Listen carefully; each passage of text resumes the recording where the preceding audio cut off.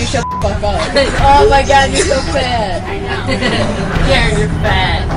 You're so fat. You take up like the whole entire seat. Dude, I'm gonna fucking How about I stab- put my knife out right quick? What's your address so I can freaking piss off I'm your door? How about I bring my knife and cut you? I stab you in the stomach and my knife will go through you like butter because it's all fucking water. You don't have a family because they all killed themselves because they didn't want to be near you. Why are you looking at me like that? Like you want to like you're so fat.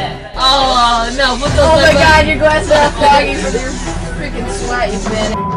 Why is there water on your face?